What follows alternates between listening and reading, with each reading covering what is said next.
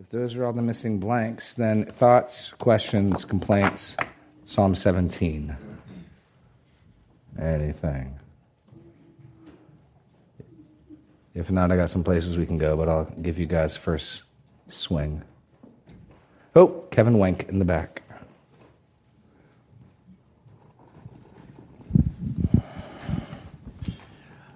It was interesting when you said uh, that David had an open door in the cave.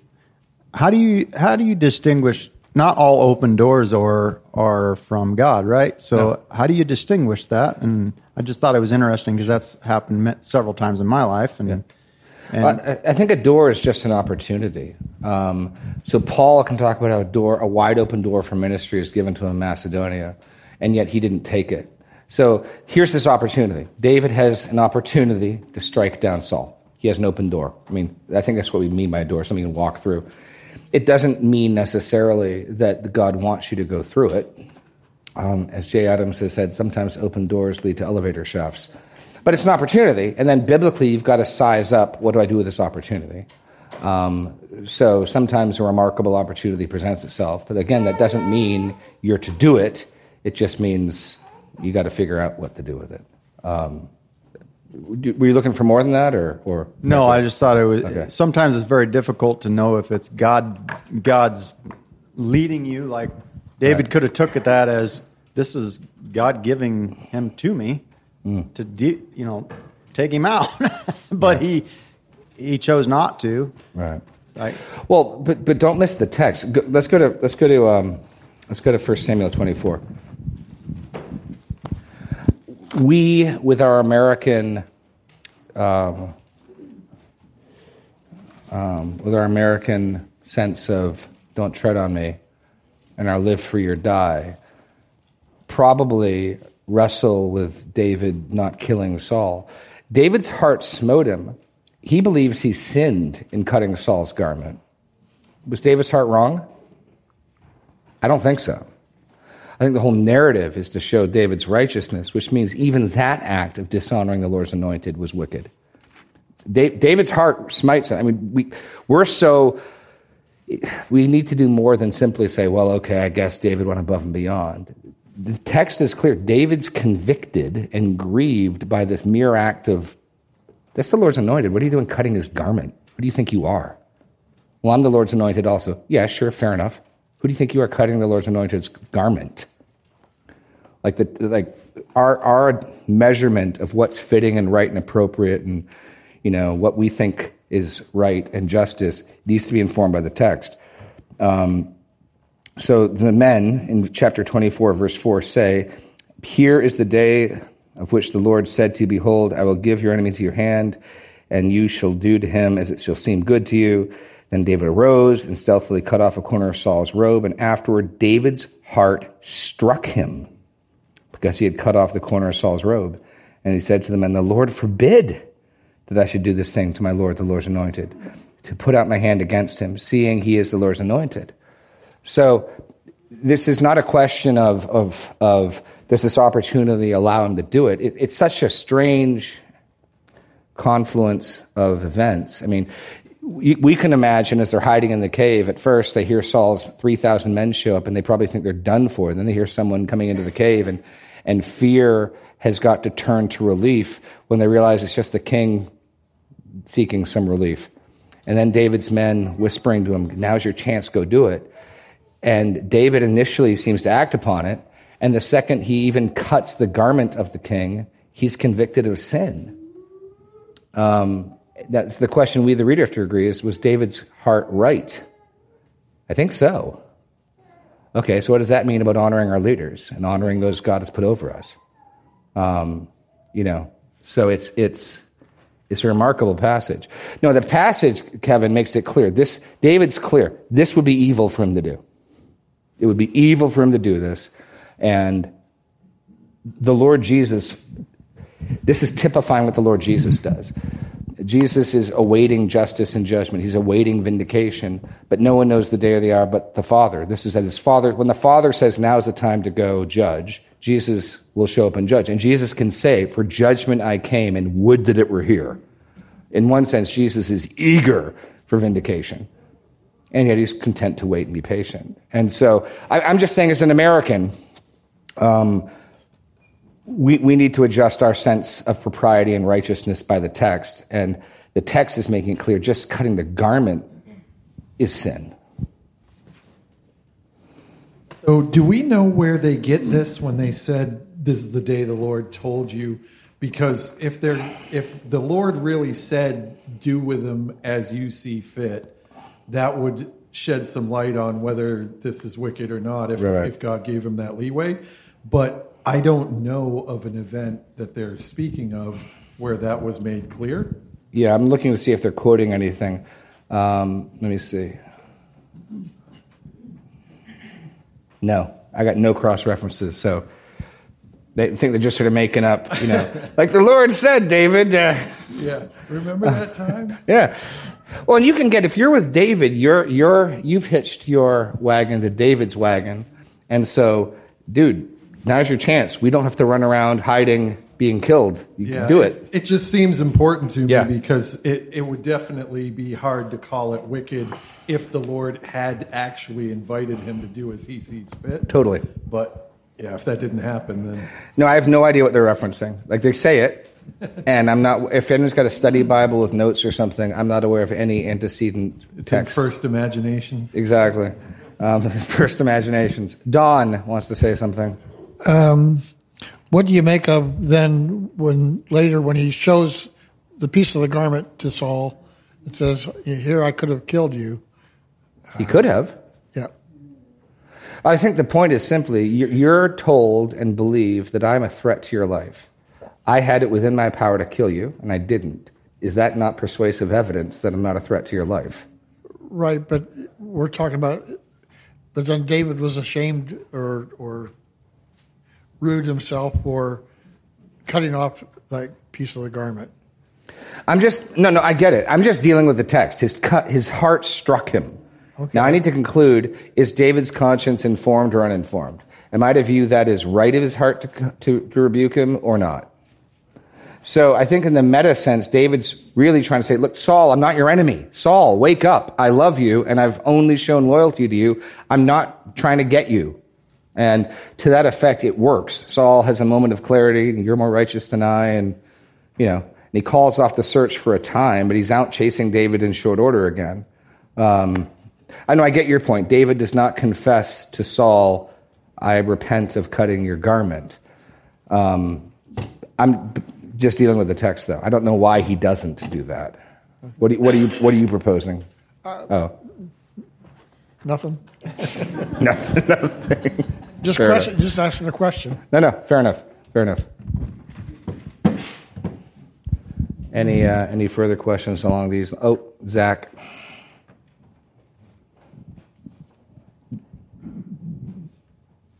Sorry to belabor this just a little bit more, but I was trying to think if there's any uh, um, what do you call it, like correlation or connection between him cutting the garment to something that we would do today, since that's not something that probably most of us would do to someone who's our enemy or something.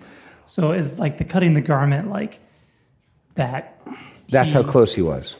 But like when he says like you know I shouldn't have done that to the Lord's anointed, is it like just doing anything that would kind of like dishonor or embarrass the Lord's anointed, or is it I don't know that he got close, kind of being sneaky?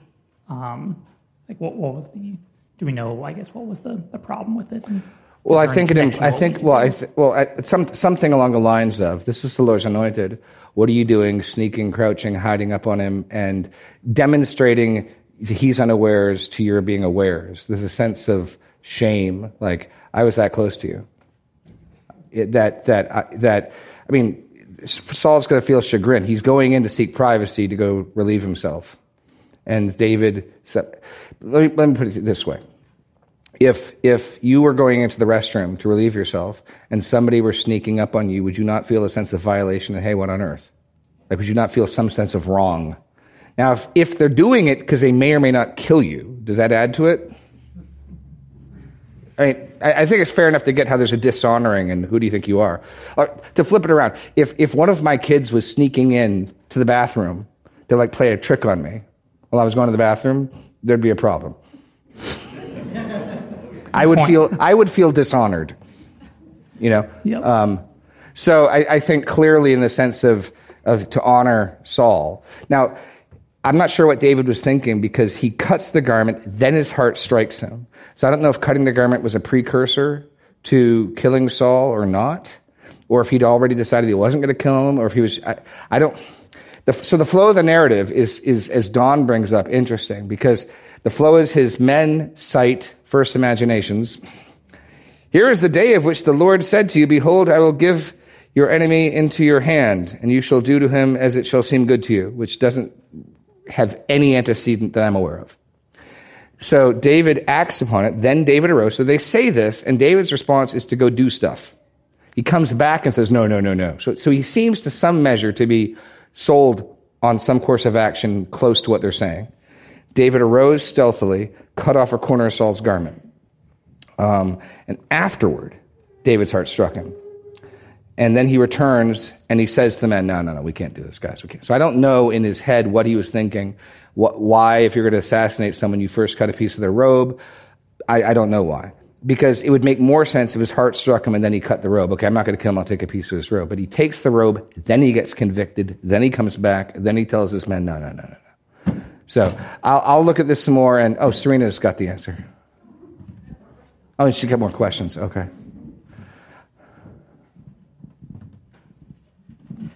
Two questions. Yeah. One is Is this before or after the spear and the water jug incident? And how does that relate? So the other one is in 26. That's Okay. before. 26 is the other one, the other event similar. Um, if you guys want to turn there.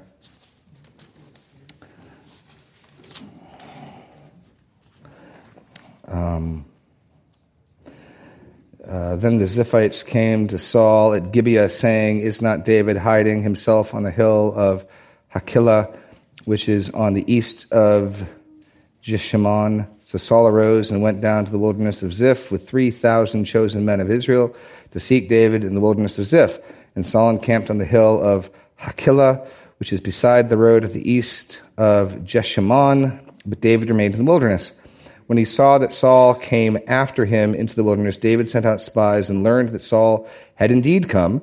Then David rose and came to the place where Saul had encamped, and David saw the place where Saul lay with Abner, the son of Ner, the commander of the army. Saul was lying within the encampment while the army was encamped about him.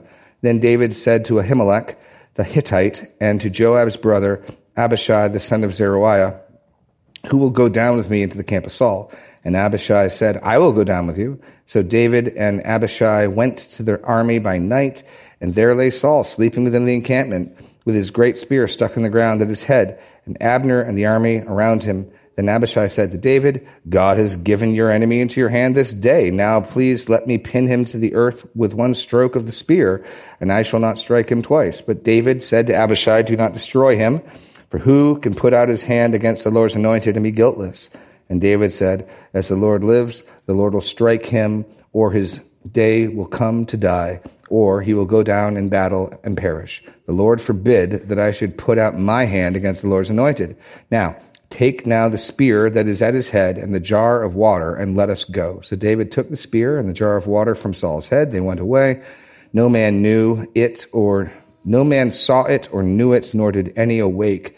And they were all asleep because of a deep sleep from the Lord had fallen upon them. Then David went over to another side of, then stood far off the top, far off on the top of the hill, with a great space between them. And David called to the army and to Abner, the son of Ner, saying, Will you not answer, Abner? Then Abner said, Who are you who calls to the king? And David said to Abner, Are you not a man? Who is like you in Israel? Why then have you not kept watch over your lord the king? For all the people came in to destroy, for one of the people came in to destroy the king your lord. This thing that you have done is not good. As the Lord lives, you deserve to die because you have not kept watch over your lord, the Lord's anointed. And now see where the king's spear is and the jar of water that was at his head. Saul recognized David's voice and said, Is this your voice, my son David? And David said, It is my voice, my lord, O king. And he said, Why does my Lord pursue after his servant? For what have I done? What evil is on your hands? Now therefore, let my Lord the king hear the words of his servant. If it is the Lord who has stirred you against me, may he accept an offering. But if it is men, may they be cursed before the Lord. For they have driven me out this day that I should have no share in the heritage of the Lord, saying, Go serve other gods. Let me read that again. I'm, that seemed off. Um, may they be cursed. For they have driven me out this day that I should have no share in the heritage of the Lord, saying, Go serve other gods. Now, therefore, let not my blood fall to the earth away from the presence of the Lord. For the king of Israel has come out to seek a single flea, like one who hunts a partridge in the mountains. Then Saul said, I have sinned. Return, my son David, for I will no more do you harm, because my life was precious in your eyes this day. Behold, I have acted foolishly and have made a great mistake. And David answered and said, Here is the spear, O king. Let one of your men come and take it away. The Lord rewards every man for his righteousness and his faithfulness. The Lord gave you into my hand today, and I would not put out my hand against the Lord's anointed. Behold, as your life was precious this day in my sight, so may my life be precious in the sight of the Lord, and may he deliver me out of all tribulation. And then Saul said to David, Bless you, blessed be you, my son David. You will do many things, and you will succeed in them. So David went his way, and Saul returned to his place. David didn't exactly trust the invitation to come in, though. Um, so, Serena, that's that's the other account. Did you? That, that, so, twenty four is before twenty six. So he's he in 24 he says he hasn't sinned to Saul. So could it be that the sin was in his motive in his heart and he didn't feel the need to confess that to Saul that there wasn't anything inherently wrong with cutting the robe? It's, it's possible. We, we don't, it, the text doesn't say his heart smote him because he cut the garment. The ordering is, is men say, go kill him. You've had an opportunity. He gets up, he goes, he cuts. When he'd cut, his heart smote him. So his heart could be smiting if what he intended to do next. It's possible. Because he um, doesn't seem to feel any sin about taking the spear no, and the water that's, jug. It that's, seems that's, different. that's possible as well. It is a strange passage to try to get the, the specifics.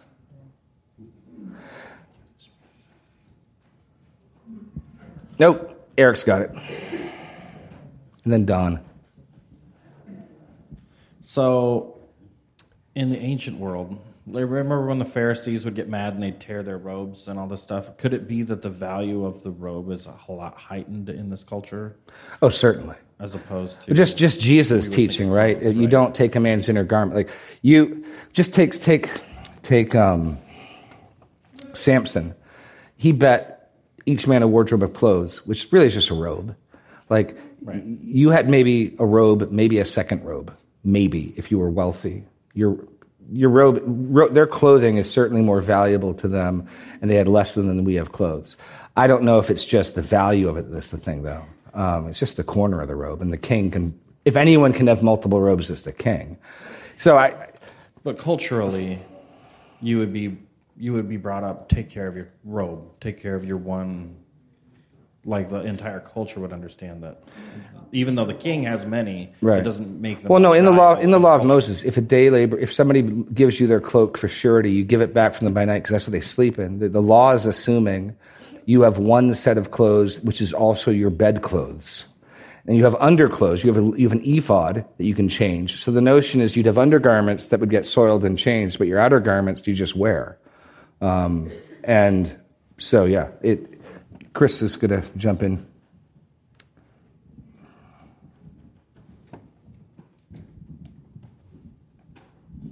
So when I read this, it looks to me like you would never do this to the king in front of his face. Like if if he's sitting there looking at you, you're not going to cut a piece of his robe off. It, there's a certain amount of affront that who are you to do this to me? Yeah. you know, um, it'd be a rough thing to do to anybody Yeah. uh, openly, let alone the king who's supposed to be revered and protected. But I'm wondering if the, the strangeness of the timing, it sounds like he saw the wisdom up front of doing what he eventually did and uh, showing I'm not a threat by just cutting the robe. But once he had cut it and the adrenaline to do that took place, now he's got the next step of showing him. And I could imagine the sobering effect. I'm about to tell the king that I just cut his robe, and I hope he understands what I'm trying to do here. Boo. But- right, right. Okay, maybe. Like, all of a sudden, the, the weight of what he just did would probably set in a lot heavier than the you know, his men hyping him up and like, this is your chance. This is your chance. Yeah, that's a good idea. Uh, Then once you're ready to talk to him, it's like, oh man, what did I just do? It, no, it, it, it could be. It could be. We, the text doesn't say what his heart struck him for. It just gets the order. He, he cut his garment. Afterward, his heart struck him. Then he returned and said X. And as has been pointed out, he doesn't apologize for cutting the garment. So I, I may have spoken too hastily with saying it's absolutely wrong. It's oh, who's who's going next? Dean. Dean's got it. As you mentioning uh, Daniel and his trusting in God to deliver him or not, Yeah. it struck me that what, what do you think of the, the different reaction between Daniel and David fleeing? They both could have fled the king's court, but Daniel chose not to flee and take whatever, where David Yeah. fled. Is, is that considered um distrusting of God to protect him? I don't think so. Um, I think part of the thing is if you're in the capital city of Babylon, I mean, we, the, the notion that, that citizens might have the power to resist a potentate, it's just not even a question whether or not you can escape Nebuchadnezzar. The assumption is, of course, if Nebuchadnezzar wants you arrested, you're getting arrested. Of course, if, and with David, with where he lives in the city, and yeah, not David, Daniel, sorry, Daniel. Um, and Shadrach, Meshach, and Abednego as well. But there's also something clear with David that he's making a point. He lets his windows open. David, Daniel. Daniel had opportunities to simply hide his rebellion, and he doesn't do that. So I think part of what Daniel's doing is no, and I don't want anyone to think I'm afraid and that I'm going to bend the knee. And so, no, and he opens his windows and then he doesn't flee. Um, I mean, and church history is, is littered with people who do both. Um, Polycarp lets himself get arrested and they try to feed him the animals. And if you trust Fox's Book of Martyrs, the animals wouldn't touch him. And it's, it's remarkable. It's a remarkable story, his martyrdom. And yet Saul gets let out a window in a basket in Acts. So fleeing, and Jesus even saying, flee to the mountains in that day. So I don't know, I don't have a clear line of when you stay and boldly face the music and when you flee, but clearly flight is permissible. I mean, Jesus explicitly says, flee to, let me look it up, flee to the mountains. He's talking about a coming tribulation. Oh, yeah. They tried to lay hands on him, but he disappeared or he left their midst. Yeah. yeah. Um, so I don't, I don't know. David is not rebuked for fleeing from Saul um, at all. So it might be, I, it might be that um, it might be that Daniel has no opportunity, no realistic opportunity to flee. He's so he's a pretty high up dignitary and official. I, it might be that he has no possibility of getting out unnoticed, or it just might be that he's willing to take whatever happens happens. Um, there is examples of that, but flight seems a completely valid thing. Um, anyone want to weigh in on when flying, fleeing, flying, flying? Um, oh wow! I'm, Matthew 24, 15.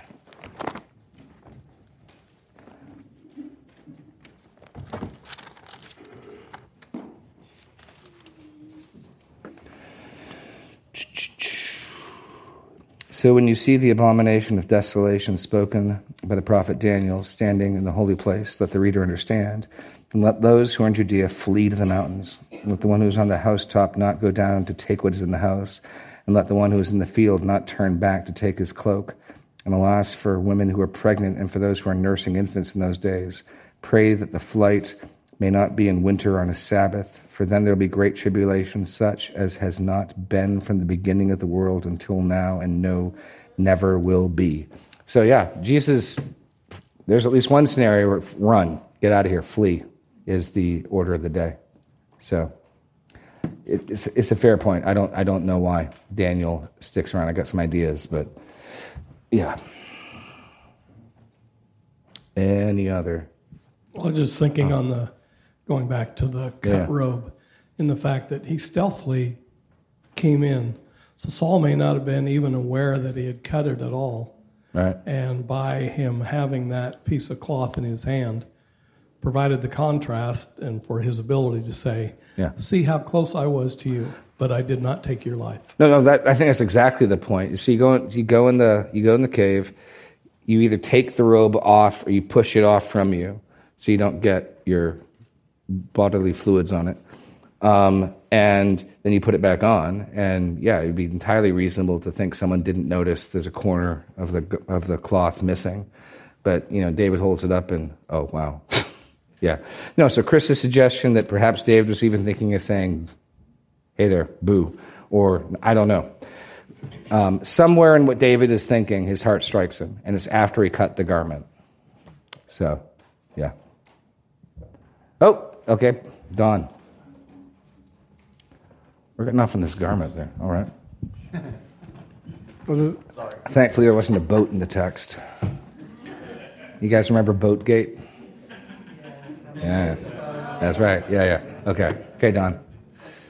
Um, about uh, Dean, Dean uh, talking about uh, fleeing, where Jesus himself escaped uh, in Luke four. From they they were going to kill him, throw him off a cliff, Yeah. and he evaded them Yeah. in a, in a mysterious way. But Yeah. it wasn't his time yet. Right. Well, and, and like for instance, even the Book of Acts, they sent them to arrest uh, Peter and John, and there were so many people that the soldiers sent to arrest them were scared. They could have said, "We ain't going with you," and I'm not sure why they didn't, but they went with them and were flogged and released. But we know there are instances where they, without using any force, could have just said, "Nah."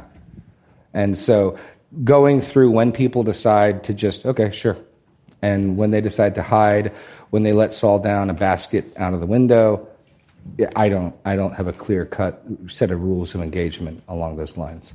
Um, but, but the one thing we don't see, and I, and I know this is the, the hotbed question, is when is it okay to fight back? There's very little, if any, precedent for that, which means you got to think through that pretty carefully. Fleeing and avoiding is different than fighting. I think you could make you certainly can make an example from Esther, right? So like how does how does God deliver the Jews in Esther? They get permission to defend themselves. Remarkable. The Lord's deliverance in Esther is okay, you, you guys can defend yourselves, which is interesting in and of itself. So there's differing stages. You put up with it, you submit to it, you flee, and you can obviously at times fight back. David will not fight back against Saul, at least not directly against Saul. He will not do that. So the, there's different math equations for different levels, and thinking through what's right, what's fitting can be can be tough. So um, I'm not trying to do all the math right now. Oh, Lee, oh dear, Lee. Oh, Don, you have a mic. Don, your question while while they get the mic to Lee. I, I just want to comment that uh, Paul used the legal system of his day Yeah, yeah. to make it, you know, yeah, in his own defense. yeah, You know, he, he, he didn't. He fought a legal battle. He didn't fight a physical battle, but right. he lost. Right. Oh no, and I and I think in our day, if God's given us courts to appeal to, judges. I mean, if you want to say in effect to something you think's illegal, I'd I'd like to call in a judge to render a verdict because I don't think this is right. I think I think you're not keeping your own rules. By by all means, Paul certainly does that. Absolutely. Yeah. Lee. Yeah, it's interesting uh, about fighting back because I was listening to this guy and he was talking about history of Europe and about when the uh, Muslims invaded Europe in the I don't know 1300s, 1200s, whenever it was. Went through Spain, went up through Europe, got to the gates of Vienna. Oh, yeah. and, that, and that- Suleiman, there's, right? Yeah, Yeah. I'm not sure who, but they're fighting the whole way like it's a war, and these Yeah. they're there to conquer the Christians Right. and kill them, do whatever they want to do with them. And so now it was interesting because he was saying today this is our culture is so different that we're saying yes, come in. We don't want to fight. Well, let's all get along, and it's not working so great, especially in Britain. You see some of the crazy things going on. So I don't know because Yeah. I mean that's a war. Like where, yeah, the, the when to fight back is such a weird puzzle. And, Yes. Uh, yeah. Yes. Um, yeah, no, European history is amazing. Yes, Suleiman, it was Suleiman the Magnificent. He got to the gates of Vienna, and that actually, my, I'm in a men's Bible study. We're going through a book on church history. And interestingly, that's what gave Luther cover, because the Holy Roman Emperor was set to stomp out the heresy of Protestantism. And then as Suleiman approaches, he needs a unified Germany to raise armies to go fight. So basically, in the we set aside our differences to go fight the, the Turks? And that buys some more time. So it's interesting, even in God's sovereignty, how that stuff worked out. Um, you know, they, they got right, that, that shook them to their core when they got to Vienna. That, I mean, yeah, it, it's one thing for it to be down in, in northern Africa and Asia, but forget that close into Western Europe or close to Western Europe is pretty pretty big deal. Chris. So I was just thinking about the when to flee, when not to flee question, and I this isn't to be dogmatic about Oh, yeah. anything, but just an observation. So we see Paul flee, we see David flee, we see Jesus. You could say flee in certain scenarios. But Avoid avoid apprehension. Sure. Yeah, yeah. But you also see Paul contend Philemon fleeing. Yeah. And uh, recommend that he go back to his master. And I, it makes me think. I wonder if a consideration in this is how much authority the person rightfully has over you. Right. If that's if anyone who's fleeing, David was anointed as king. Right. At the time, so he was not under Saul's authority. You're not the king, Saul. Right. Right. So so he had the right, to do what he wanted. Yeah. Jesus obviously is not under any earthly reign. Um, so he could do what he wanted. Paul. But he's but it's the people. Jesus submits to the political rulers. sure.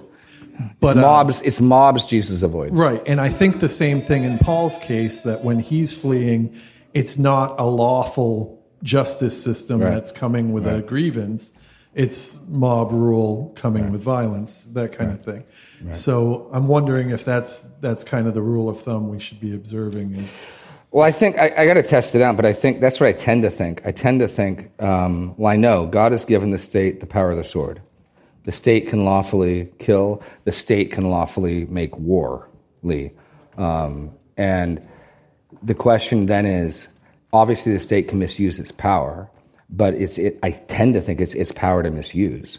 So it's like, okay, God's given you the power to put me to death. I think it'd be wicked for you to do it, but it's your call, not mine. you do have the discretion. Right. Yeah. That tends to be what I. Yeah, Yeah. that And seems be what it looks like. Yeah. And it's informative that even though Daniel was a prisoner against his will, um, he was still under the authority of that Yeah. reign. Yeah. We would look at that and say, "Oh, but you didn't choose them as your governor or whatever." Well, he was kidnapped and castrated. exactly. So, but under maybe Romans thirteen, maybe he is considered under that authority. Well, he, he certainly becomes a. No, I'd say more than that.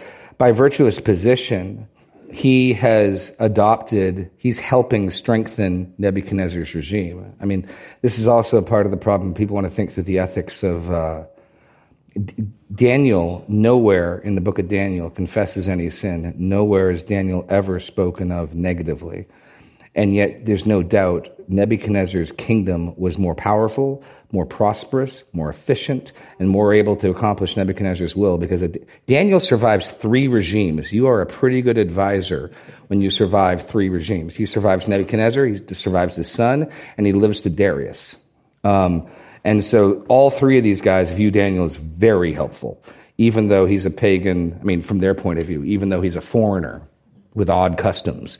So there's no question Babylonian Empire is stronger due to Daniel's help. And yet, and we know that Nebuchadnezzar did some great evil. He was a, ter- I mean, he was a tyrant. I mean, you read about what he does to the last king of Israel. It's brutal. He t- puts out his own eyes with his own fingers after he makes him watch him kill his sons. So the last thing, I think it's Jehoiachin, the last thing Jehoiachin sees before Nebuchadnezzar personally puts out his eyes is his, his own line come to an end. And then he takes him away to Babylon. Um, and uh, so Nebuchadnezzar, prior to his conversion, is a brutal man. David's clearly working, so he's part of that system. So I'd say by virtue of being part of that system, David himself is recognizing the legitimacy of that system. Yeah, so absolutely David's under Nebuchadnezzar's authority. And Daniel, good night. Good night. Okay. Yeah, okay. Okay. No, the- these, admittedly, these things are not easy. Nathan. Oh, sorry. Yes, Annalisa, you first. So I was going to go a different direction than where we were. By all means. Um, so under here and answer me, I loved that you reminded us that David remembered the wonders that God has done. And when we do that, then we have more confidence and faith. It bolsters. And it, it wasn't just that it was for David's sake, it was also, God, I know that you are this God who can do that. Yeah. Amen. Well, I think I think. Hold on one second. I think it's key to how we ask. The disciples wake Jesus up in the boat, and they, and they even say, "Don't you care?" There's a sense of like, "Do you see what's going on? What are you What are you doing? Don't Don't you care?" David, as much as he's saying, "Help, pay attention, listen, wake up," is also confident that when God does see and pay attention, He's going to act, and so he's calling on. There's not the slightest suggestion. Why don't you care? Why are you so calloused? He's calling on a God to help who he believes helps and reminds himself has done exactly that. And you're going to call on a God differently when with that in mind. Nathan. I was just thinking as a summation to like uh, to circle back to fleeing or staying. Like this is where like this is why as Christians we're called to walk in the Spirit and to be guided by uh, His truth and what He places in our hearts through the Word of God and through the body of Christ, because that's going to kind of play a lot into Yeah. some of those guidelines. And so, instead of the focus being should I flee or should I go, the the focus should be more on what would Christ have for me. And as we search the scriptures, and if we don't get any clear answer, we know that He will guide us and He will lead us, and Yeah. through His sovereign control, His plan and His purposes will keep moving forward. Yeah, I- I, I mean, as a thought experiment, I've, I've, I've, I could make a case. I think so. If you're living, if you're a Christian living in Poland, the beginning of World War II and the Blitzkrieg, I think there's two responses that could be undertaken by two different people in faith that are diametrically opposite. I could think one person might say, "My my loyalty is with the underground Polish government. Um, these people are are wicked. These people are invaders, and I'm going to work with the underground government to try to fight back." I think that could be done in faith, and I think someone else might say, much like Israel was given into the hands of Babylon, God has given us into the hands of these wicked people, and just as Israel and Babylon, we should try to make peace and serve our wicked masters as well as we can, and God has judged us. And I think both responses could be done in faith. Um, I, I'm not sure there's a right answer. Um, and- and ultimately, what God calls on us to do is to act in faith and in love.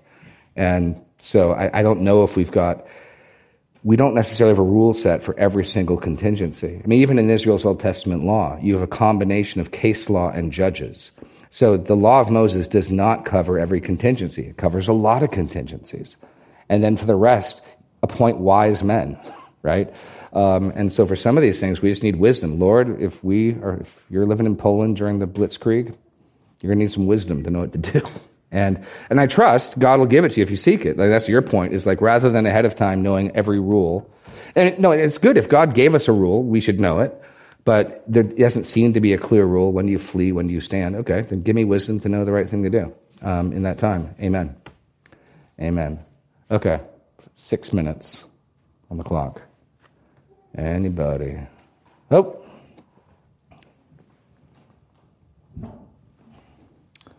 Mr. Kleinfelter. So prior to the incident with the robe in chapter 24, is there a time where David makes it clear that he will do no harm to Saul? Because it seems his men say, now is your opportunity to take his life. And then David arose to cut off his robe. And I wonder if he hadn't fully fleshed out his position because after that, his heart strikes him. And the difference between chapter 26, mm. when the opportunity is there, he is abundantly clear when he said, when his the man with him says, "Let me take his life." His immediate response is no, and he lists out you know all those reasons. So I wonder if part of what you see with David's heart striking him is him not even knowing that he had decided whether or not he hmm. would take Saul's life if he had the opportunity. That's a good question. I do not know. I'll have to look into that. There's a small group that's been going through First and Second Samuel. Anyone part of that small group know the answer to that, or I'll look it up. You may have a good point. This may be the point where David's crystallized. No, because in 19, I know he has four escapes from Saul, But I, it may well be that 24 is the first place where he actually has the power to do something. And he hasn't even entered. Like, like part of what we have to wrestle with, as I was saying, is the notion that you can stand up to a government is a relatively modern thing with modern weapons. You, you don't start a revolt against a king and his army. You just don't because you lose. Um, and so David's fleeing, fleeing, fleeing. And in 24 may well be the first time he has something he can actually do about it. That's an interesting question. Uh, interesting thought. I will, I'll attempt to get back next week on whether that holds up. I think it may well hold up. That's a good thought. Anything else?